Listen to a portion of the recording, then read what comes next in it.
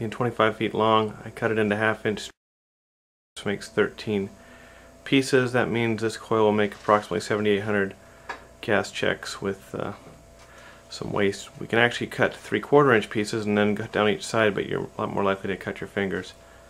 So I'd recommend going with the half inch. I use a paper cutter to cut it with.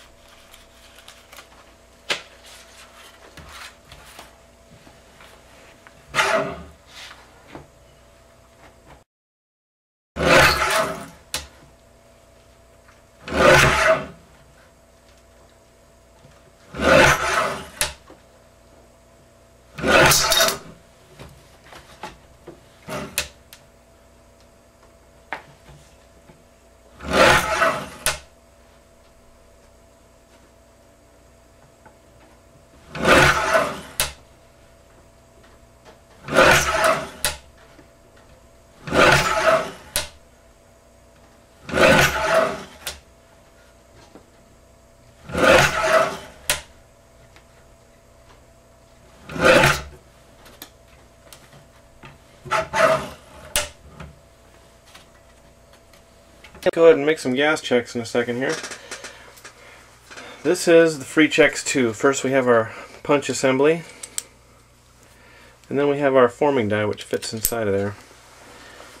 What we have right here is a one ton $49 Harbor Freight arbor press and on the uh, arbor press's plate I've gone ahead and uh, bolted on a $5 or probably 7 or $8 uh, uh, steering wheel remover with a little piece of uh, sheet metal to kind of uh, form a spot for the Freechex to fit into to kind of center it up so that the gas checks have a place to fall down on.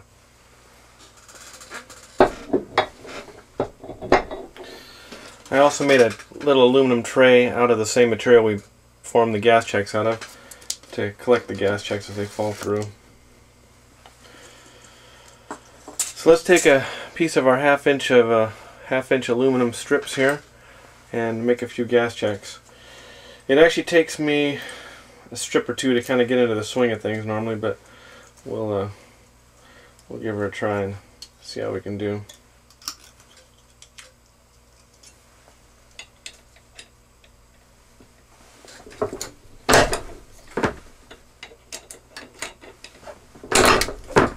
One gas check.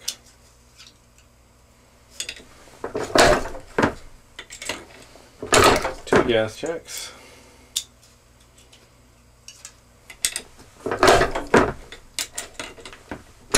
Three gas checks.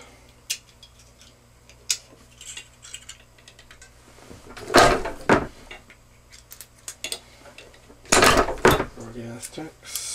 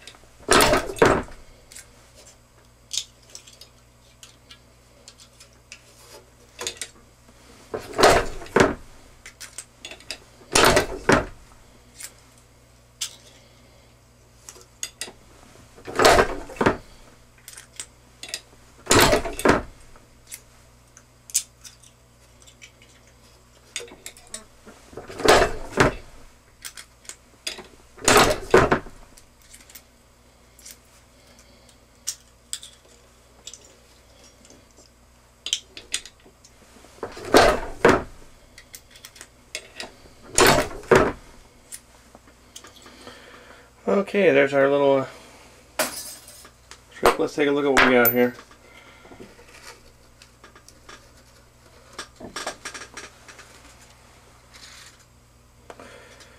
And let's see what we can do with them here.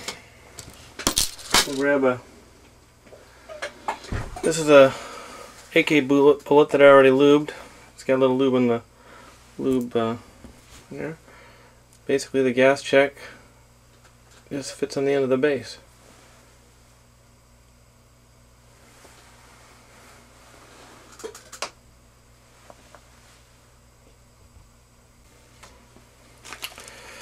This is how many you can make in a couple hours.